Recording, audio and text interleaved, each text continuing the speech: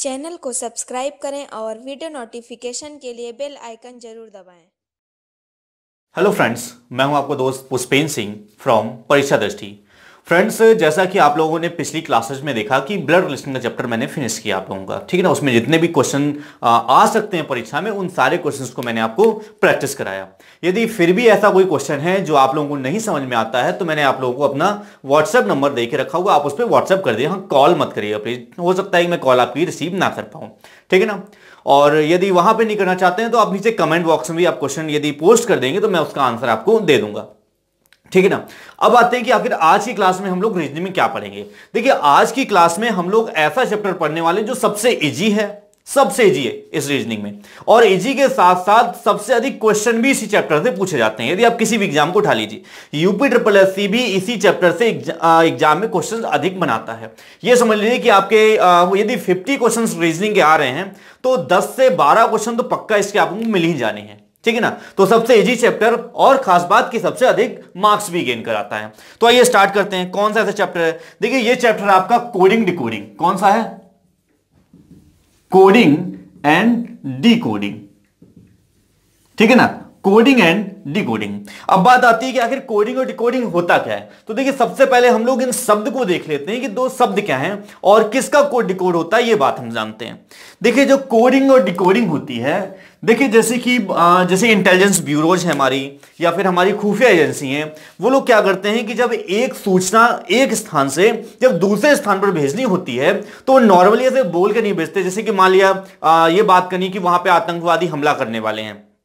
या सपोज़ अगर कोई बात होगी तो वो सीधे सीधे स्टेटमेंट इस तरह नहीं सेंड करेंगे। वो क्या करेंगे? वो अपनी लैंग्वेज को, यानी अपनी भाषा को, जो उनका स्टेटमेंट है, उसे भी किसी ऐसी भाषा में कन्वर्ट करेंगे, जिसे भेजने वाला समझ पाए और पाने वाला समझ पाए। बाकी तीसरा कोई भी ना समझ पाए। ठीक ना? तो उसी को हम बोलते हैं कोडिंग करना, और जो सामने वाला पाता है, वो उसे डिकोड करके समझ लेता है। तो यहाँ पर शब्द समझिए कोडिंग आखिर कोडिंग क्या होती है? हिंदी में हम इस तरह लिख देते हैं कोडिंग आखिरी कोडिंग होती क्या है? देखिए इस कोडिंग का मतलब है कि एक ऐसा शब्द मान लिया जैसे मैंने आ, ले लिया बॉय ठीक है ना? एक मैंने शब्द ले लिया बॉय बॉय जो है इसका सेंस कोई ना कोई सेंस है। बॉय मतलब लड़का होता है।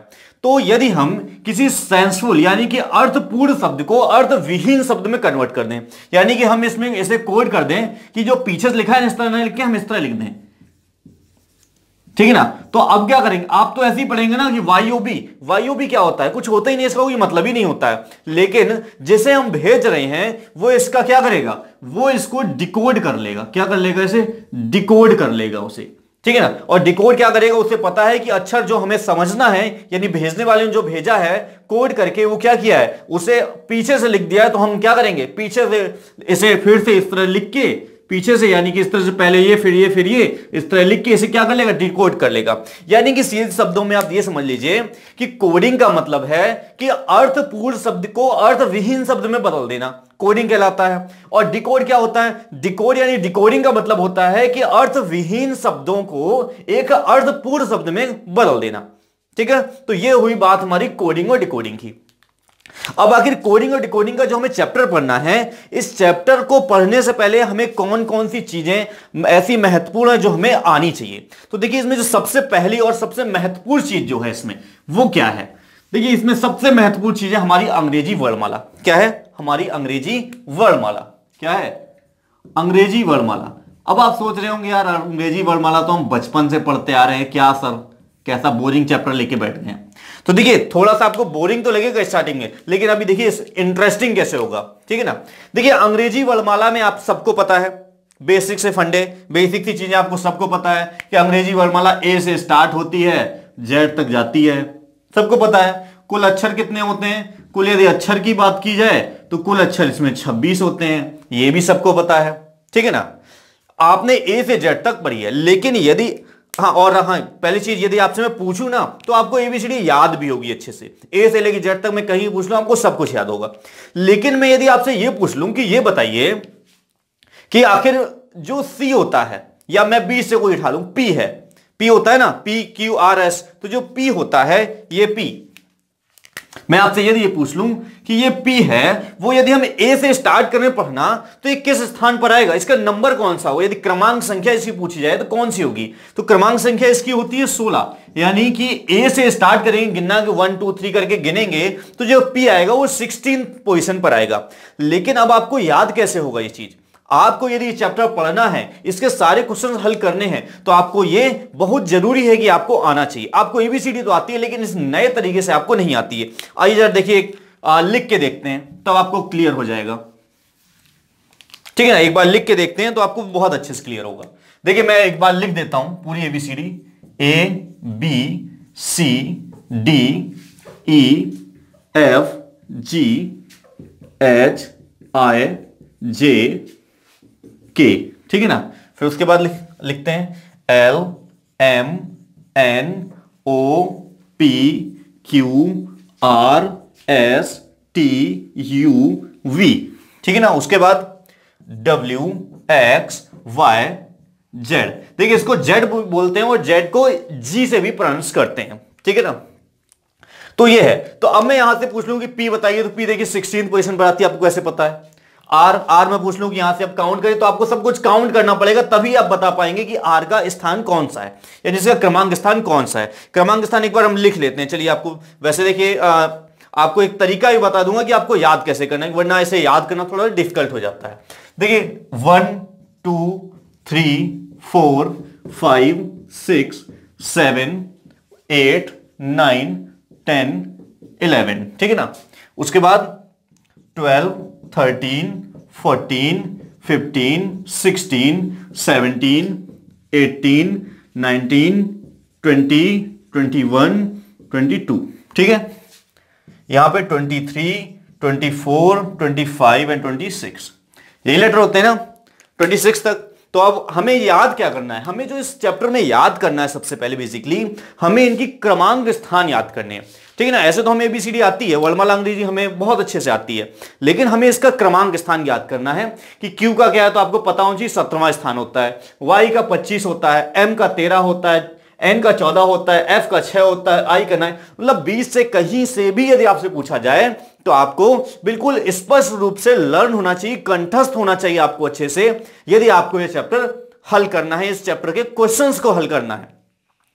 तो अब समस्या ये आती है कि सर अभी याद कैसे करें? इसको हम भूल जाएँगे। और बहुत सारे स्टूडेंट्स पता है क्या करते हैं एग्ज़ाम टाइम में? एग्ज़ाम टाइम में जब इस तरह के क्वेश्चंस आते हैं तो पेपर में लिख लेते हैं और लिख के फिर कोडिंग कर लेते हैं, एक से छब्बीस तक, और फिर उसमें देख देख क्वेश्चन सॉल्व करते हैं। देखिए, वो आप कर तो सकते हैं, लेकिन उसमें आपका टाइम कितना वेस्ट होता है, आप ये देखिए। इस समय वर्तमान में गला काट प्रतियोगिता का दौर है। कैसा? गला काट प्रतियोगिता का दौर। यानी कि जो आपका फ्रेंड भी है ना, वो भी आपका गला काटना चाहता है। क्यों काटना चाहता है?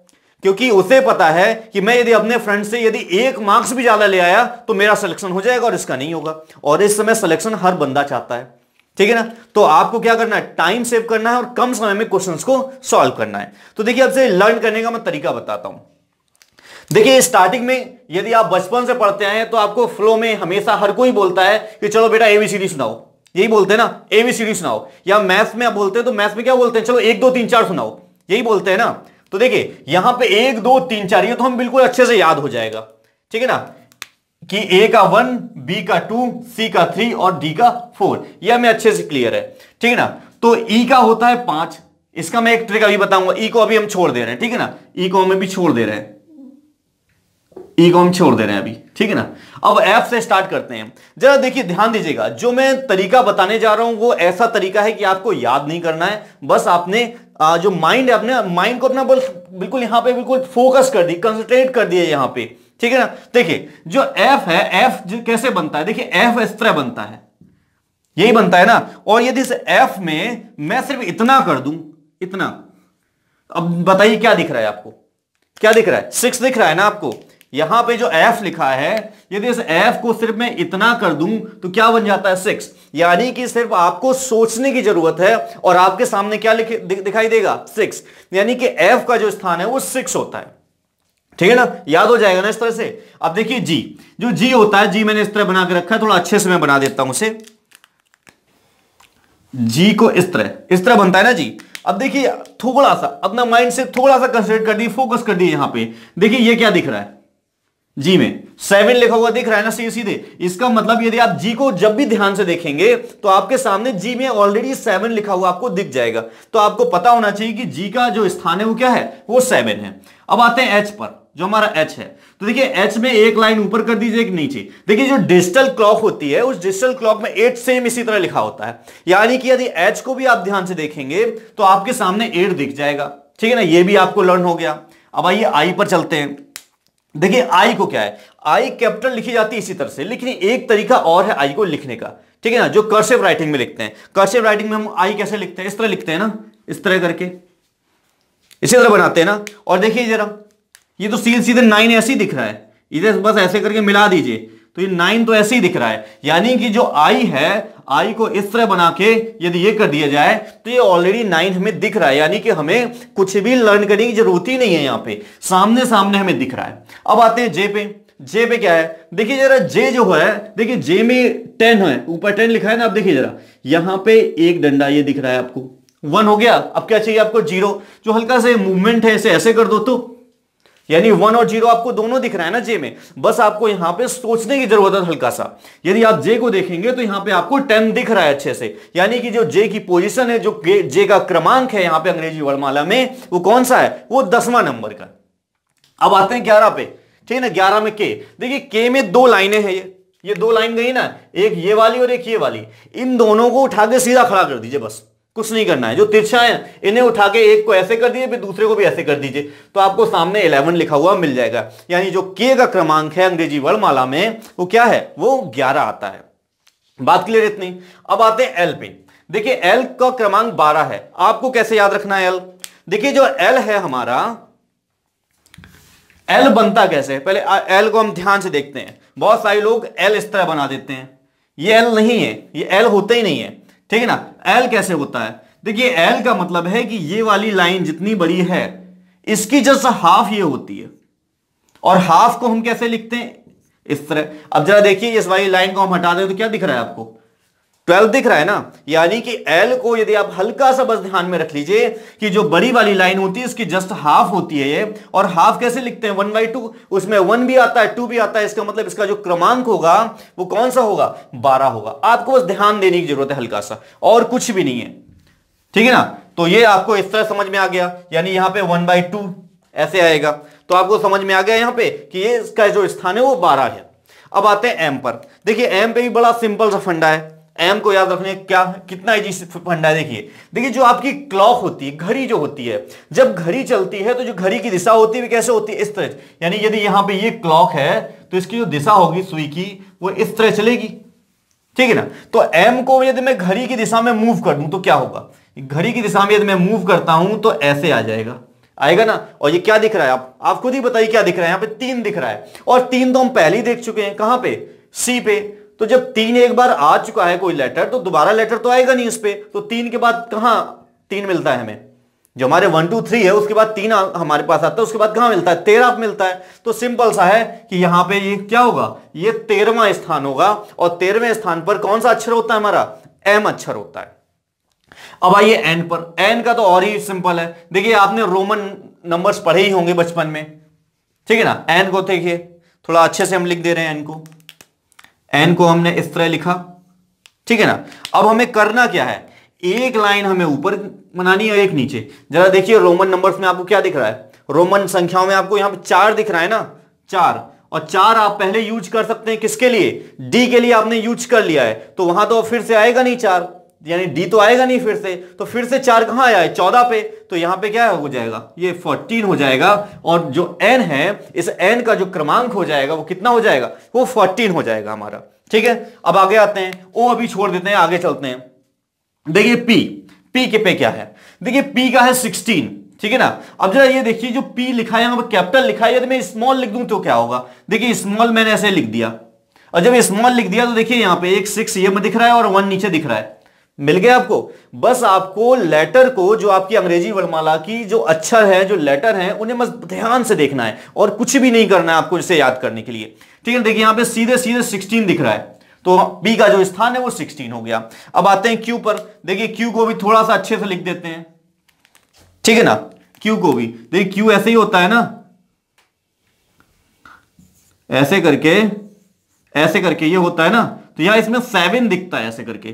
जब सेवन दिखता है सेवन आप पहले यूज़ कर चुके हैं जी के लिए तो अब यहाँ पे क्या हो जाएगा? यहाँ पे सिर्फ़ ये जो सेवन दिख रहा है आपको, ये केवल सेवनटीन के लिए होगा, यानी कि क्यू के लिए होगा। ठीक है? अब आर में देखिए। देखिए आर में भी सिंपल सा फंडा एक ही है, ये नीचे वाले को मैं ऐसे कर दूँ तो यहाँ पे एट आ गया। और एट हम किसके लिए यूज़ कर चुके हैं? एच के लिए यूज़ कर चुके हैं। तो किसके लिए होगा? फिर एटीन के लिए होगा। यानी जो आर है, वो एटीन पोजिशन पे आएगा। बात क्लियर है यहाँ पे? इसी तरह आइए। एस पे देखते हैं। देखिए एस यहाँ पे कैपिटल लिखा हुआ है और इस एस को हम स्मॉल में लेटर में लिख देते हैं। देखिए स्मॉल लेटर में इस तरह लिखेंगे। इसी तरह लिखेंगे ना? देखिए, यहाँ पे सीधे सीधे क्लियर नाइन दिख रहा है हमें। और नाइन हम आई के लिए यूज़ कर चुके हैं तो यहाँ पे क्लियर है कि नाइनटीन होगा। और नाइनटीन होगा तो एस का जो स्थान है वो क्या हो जाएगा? नाइनटीन हो जाएगा। टी को हम छोड़ दे रहे हैं, ठीक है ना? यू को भी थोड़ा छोड़ रहे हैं हम। वी पे देखिए वी पे क्या है? वी पे क्या है? दो लाइन है। और दोनों लाइन को क्या है? ये दोनों लाइन एक जैसी हैं। ठीक है ना? एक जैसी, यहाँ पे एक लाइन थी तो वन वन नंबर दे दिए थे।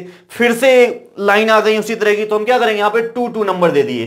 ठीक है ना? टू टू नंबर दे दिए तो यहाँ पे वन वन और यहाँ पे हो गया टू टू यानी कि जो वी की पोजीशन है वो ट्वेंटी टू है। अब भाई ट्वेंटी थ्री पे। देखिए ट्वेंटी थ्री पे सेम आपको जो एम में आपने किया था, वो भी यहीं पे करना है। बस यहाँ पे करना है, यहाँ पे आपने घड़ी की दिशा में, यानी क्लॉक वाइज मूव किया था इसे, और इसे क्या करिए? 90 डिग्री एंटी क्लॉक वाइज घुमा दीजिए। 90 डिग्री एंटी क्लॉक वाइज घुमाएँगे तो क्या हो जाएगा हमारे पास? ये तीन दिखेगा। तीन हम सी में यूज़ कर चुके हैं। तीन के बाद तेरह में आता है तीन, और तेरह हम कहाँ यूज़ कर चुके हैं? देखिए जरा एम में यूज़ कर चुके हैं तो फिर से तीन आ गया तो कहाँ यूज़ होगा? अब ट्वेंटी थ्री में होगा। यानी कि यहाँ पे जो डब्ल्यू की पोजीशन है, वो कितनी हो जाएगी? ट्वेंटी थ्री हो जाएगी। अब आते हैं एक्स पे। देखिए एक्स में क्या है? चार लाइन दी गई है। एक, दो, तीन, चार, और चार दी गई तो इसका मतलब फोर आ गया ना? कितनी लाइनें हैं? फोर लाइन यानी फोर आ गया। फोर हम यूज़ कर चुके हैं डी में, फिर फोर हम फोर्टीन में यूज़ कर चुके हैं, यानी कि एन के लिए, और फिर से आया तो ट्वेंटी फोर ही तो होगा। तो यहाँ पे हमारा ट्वेंटी फोर हो जाएगा, यानी एक्स है वो ट्वेंटी फोर और वाई जेड का तो आपको बताने की ज़रूरत नहीं है। बीच में बस एक जगह कुछ हमने वर्ड छोड़े हैं, जैसे ई e छोड़ा है, ठीक है ना? ओ छोड़ा है टी छोड़ा है तो इसके लिए एक सिंपल सा फंडा है, ऐसे भी देख लीजिए। एक शब्द है इजोटी, इसे आप याद कर लीजिए। ये और भी जगह आपको हेल्प दे देगा क्वेश्चंस में। ठीक है ना? इसमें क्या होता है? इजोटी में जो ये लेटर्स लिखे हैं ना, ये पाँच पाँच के डिफरेंस पे लिखे हैं। ये फाइव ये टेन ये फिफ्टीन ये ट्वेंटी और ये ट्वेंटी फाइव ठीक है ना? तो ये रहा हमारी अंग्रेज़ी वर्णमाला के क्रमांक को याद करने का तरीका। ठीक है ना? तो एक तरीका तो आपका ये हो गया याद करने का। अब आते हैं हम दूसरे तरीके। तो देखिए, दूसरा तरीका हमारा क्या है? देखिए, अभी तो हम अंग्रेज़ी वाला वर्णमाला हमने कैसे पढ़ी? A B C D E F यानी कि आगे से पढ़िए, यानी स्टार्टिंग से पढ़िए और अंत तक गए हैं। अब हमें पढ़ना है पीछे से। अब पीछे से कैसे पढ़ेंगे? ठीक है ना? देखिए, पीछे से पढ़ने का एक सिंपल सा फंडा है। Z Y X W U V U T S उसके बाद आर क्यू पी ओ ऐसे तो याद करना थोड़ा टफ हो जाएगा। तो हमें ऐसे याद नहीं करना है। हमें जो आवश्यकता पढ़नी है वो किसकी पढ़नी है? हमें आवश्यकता पढ़नी है इसके क्रमांकों की।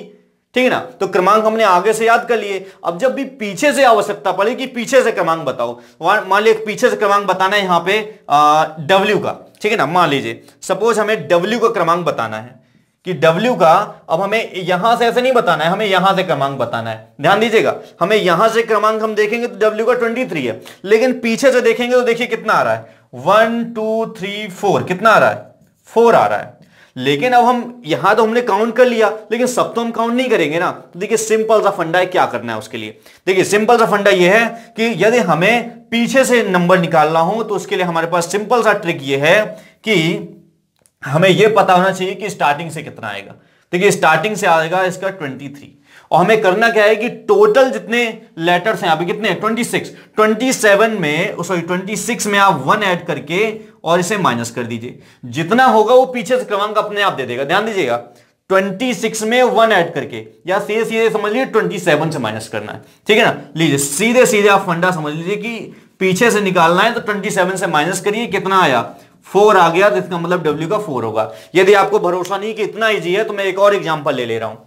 यदि आपको नहीं बिलीव हो रहा है कि इतना इजी हो जाएगा पीछे से फाइंड करना तो देखिए, एक और एग्जांपल लेते हैं। मान लीजिए इसका ले लेते हैं एस का।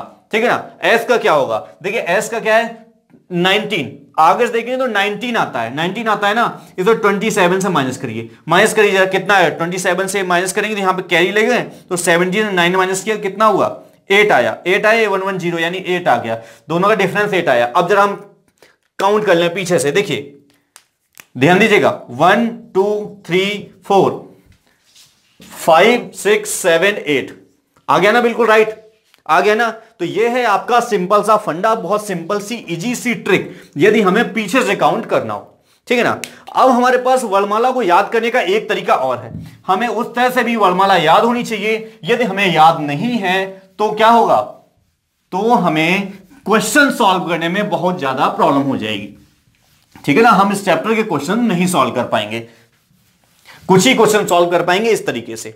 दूसरा तरीका जो हमें याद होना चाहिए, वो कौन सा तरीका है? वो है अंग्रेज़ी वर्णमाला का विपरीत क्रम। क्या है? अंग्रेज़ी वर्णमाला का विपरीत क्रम। ठीक है ना? अंग्रेज़ी वर्णमाला का विपरीत क्रम। यह हमें याद होना चाहिए। अब देखिए, विपरीत क्रम कैसे याद करेंगे? हमने स्टार्टिंग से तो ऐसे याद कर लिए हैं। देखिए, विपरीत क्रम होता कैसे, पहले वो समझ लेते हैं। तो देखिए, उसके लिए मैं थोड़ा सा एबीसीडी आपको लिख के दिखाता हूँ। देखिए, यहाँ से मैंने स्टार्ट किया। A B C D E F G H I J K L M अब देखिए एम तक मैंने लिख दिया, अब नीचे मैं नहीं लिखना चाह रहा हूँ, या समझ लिखना है। मान लिया ये एक लाइन है, और लाइन को मैं क्या कर रहा हूँ एम के बाद मैं यहाँ से ब्रेक कर रहा हूँ, और ब्रेक करके ये कोई रस्सी है, रस्सी को ऐसे मैं लाके मैं इसे फिर से ऊपर ले जाना चाह रहा हूँ तो कैसे होगा? ऐसे करके फिर से ऊपर जाएगी ना? ऐसी जाएगी ना? तो एम के बाद N O P Q R S T U V W X Y और जेड ये हो गया। अब आपके लोग सोच रहे होंगे, मैंने ऐसा क्यों किया है? तो देखिए, आप लोगों को पता है कि अंग्रेज़ी वर्णमाला में कुल अक्षर होते हैं 26 ठीक है ना? इन्हें यदि विपरीत अक्षर निकालना है तो एक अक्षर दूसरे के विपरीत होगा, तभी तो यानी एक पेयर बनेगा। पेयर बनेगा तो इसका मतलब इसमें दो का डिवाइड करो, आता है थर्टीन तो थर्टीन के क्या होंगे? थर्टीन थर्टीन का पेयर बनेगा तो यहाँ भी थर्टीन है और यहाँ भी थर्टीन तो टोटल हो गए ट्वेंटी सिक्स बात क्लियर अब सबसे बड़ी समस्या यहाँ पे ये नहीं है कि हमने इस तरह लिखा है। सबसे बड़ी समस्या हमारे पास इस समय यह है कि हमें लर्न कैसे करेंगे? यदि कोई पूछ लिया जाए कि एफ़ का अपोजिट क्या होगा या एफ़ का पेयर किसके साथ बन रहा है अंग्रेज़ी वर्णमाला विपरीत क्रम में कौन सा हो जाएगा तो हम यहाँ कंफ्यूज हो जाएँगे और नहीं बता पाएँगे। ठीक है ना? इसे आपको लेकिन याद करना है। तो इसे याद करने का एक बहुत ही सिंपल सी ट्रिक है, उसे आप लोग याद करिए। ठीक है ना? जो मैं आपको बताने जा रहा हूँ, बहुत ध्यान से सुनिएगा। देखिए, यहाँ पर सिंपल सी ट्रिक क्या है? देखिए सिंपल सी ट्रिक है। यहाँ पे जितने फिलिंग द ब्लैंक्स आप ये समझ लीजिए डैश है, लेकिन मैं फिलिंग द ब्लैंक समझ रहा हूँ उसे। और फिलिंग द ब्लैंक्स को मैं फिल कर रहा हूँ तो आप भी देखिएगा, मज़ा आएगा। देखिए, हम बचपन से पढ़ते आ रहे हैं ए टू जेड क्या? ए टू जेड यहाँ पे मैंने टू फिल कर दिया। ठीक है? यानी कि ए का अपोजिट हमेशा जेड होता है। बचपन से हम पढ़ते आ रहे हैं ए टू जेड यानी कि ए का अपोजिट जेड उसके बाद बी और वाई बी का अपोजिट वाई होता है, हम ये कैसे लर्न करेंगे? यहाँ पे मैं ओ फिल कर दे रहा हूँ तो बन गया आपका बॉय और बॉय आप जानते ही हैं। ठीक है ना? उसके बाद यहाँ पे, देखिए, अब मैं इसके साथ यहाँ पे एक स्टोरी और शुरू कर दे रहा हूँ। यदि कोई भी चीज़ को आप यदि स्टोरी से पढ़ते हैं, ठीक है स्टोरी कहानी आपको बहुत जल्दी याद हो जाती है। बचपन में आपकी दादी, आपकी मम्मी जो भी हैं, आपको यदि कोई स्टोरी सुनाते थे तो वो आपको जल्दी लर्न हो जाती थी। ठीक है ना? तो यहाँ पे मैं भी आज एक स्टोरी सुनाने वाला हूँ आपको। देखिए जरा, देखिए, एक लड़का था। कौन था? बॉय एक लड़का था। ठीक है ना? वो करता क्या था? ए टू जेड पढ़ता था हमेशा। ध्यान दीजिएगा। एक लड़का था ए टू जेड पढ़ता था। सी एक्स यानी क्रैक्स खाता था। क्या करता था? क्रैक्स ठीक है ना? ये ब्लैंक है यहाँ पे। फिलिंग द ब्लैंक में आर ए आएगा। ठीक है ना? और सी और एक्स अपोजिट हो जाएँगे। तो ध्यान दीजिएगा। एक लड़का था ए टू जेड पढ़ता था क्रैक्स खाता था। ध्यान दीजिएगा। ए टू जेड पढ़ता था क्रैक्स खाता था ड्यू पीता था। और हमेशा कब? इवनिंग में, कब? E V E N I N I N G हमेशा इवनिंग में। एक लड़का था ए टू जेड पढ़ता था क्रैक्स खाता था ड्यू पीता था, हमेशा कब? इवनिंग में। और जब इतना होता था तो क्या होता था? एफ़ यू यानी फुल ऑफ़ मस्ती रहता था वो। फुल मस्ती में रहता था फुल मस्ती में जीता था वो।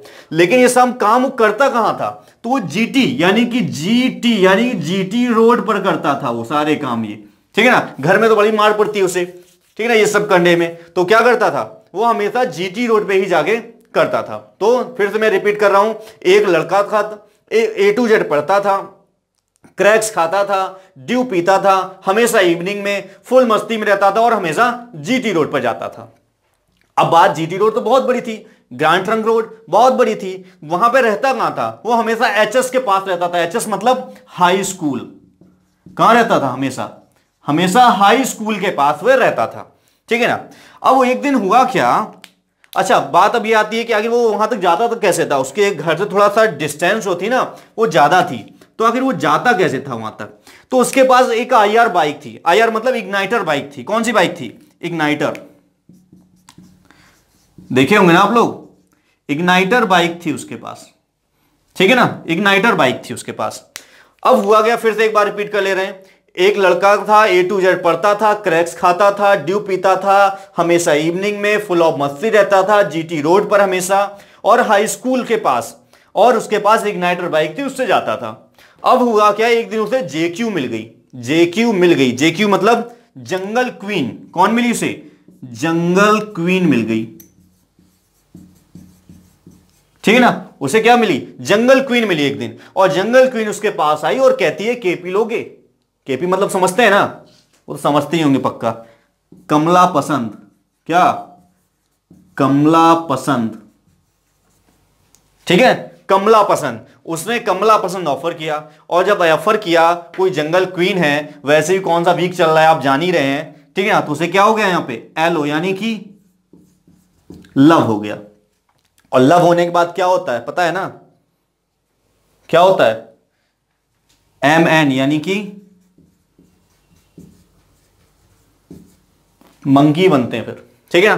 तो एक बार मैं फिर से रिपीट कर दे रहा हूँ और हो सकता है कि आपको ये याद हो जाए। ठीक है ना? इसे यदि आप याद रखेंगे स्टोरी को।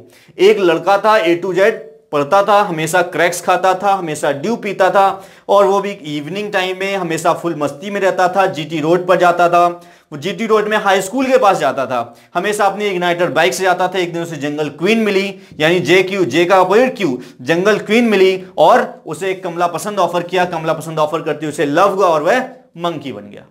ये रही आपकी स्टोरी तो इस फ़र्स्ट क्लास में हम लोगों ने क्या पढ़ा? हम लोगों ने अंग्रेज़ी वर्णमाला के क्रमांक और उसके विपरीत क्रमों को हमने क्या किया? लर्न कर लिया। अब नेक्स्ट क्वेश्चन में आखिर इस चैप्टर से कैसे कैसे प्रश्न बनते हैं, उसके बारे में हम डिस्कस करेंगे और कुछ प्रश्नों पे क्या करेंगे? प्रैक्टिस करेंगे, ठीक है ना? तब तक के लिए आप नेक्स्ट क्लास का वेट करिए। जय हिंद।